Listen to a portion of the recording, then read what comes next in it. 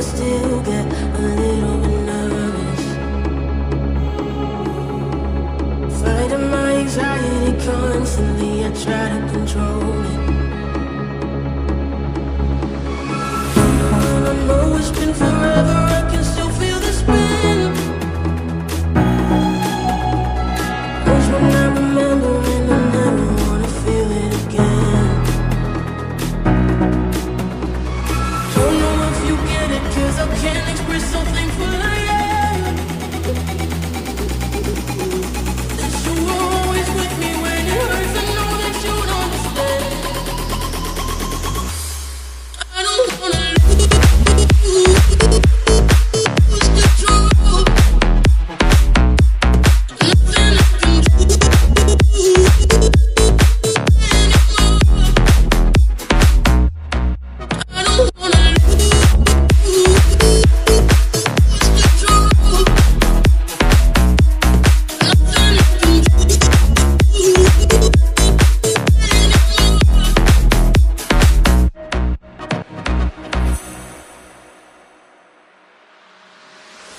sometimes I still think it's coming.